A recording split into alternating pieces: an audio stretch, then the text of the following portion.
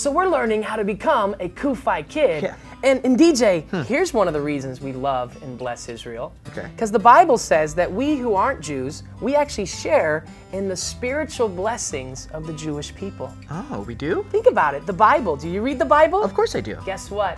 All the authors of the Bible, God used them to write His word.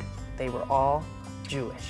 All of them? All of them. Every single one. Every book of the Bible, all 66 books of the Bible were written by the Jewish people. I had no idea. So we got to give thanks because we got the Bible now, Yeah, right? do, yeah. And also, think about it. All the patriarchs of faith, Mm-hmm. Abraham, God's special friend, Yeah. he was Jewish. He was Jewish. And he shared the faith with Isaac, and Isaac shared it with Jacob. And from Jacob came Israel, and out of Israel came our Savior Jesus. Mm.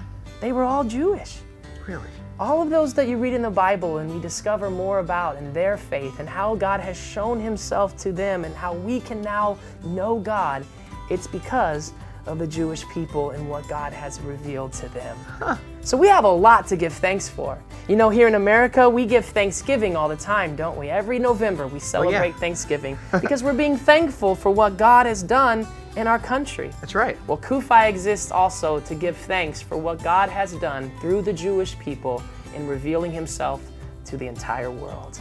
That's incredible. So you're learning more about how to become a CUFI kid. Yes, but I one of the reasons is because we want to give thanks to God's people. Mm-hmm.